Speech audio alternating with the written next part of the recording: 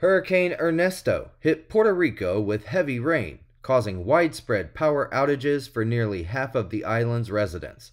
The storm, which is expected to strengthen into a major hurricane, is now heading toward Bermuda. Puerto Rico experienced significant flooding, road blockages, and the cancellation of over 140 flights. Power outages affected over 640,000 people, with 23 hospitals relying on generators. As Ernesto moves northwest, Bermuda has issued a hurricane watch, and forecasters warn of dangerous swells along the U.S. East Coast, the Associated Press has reported.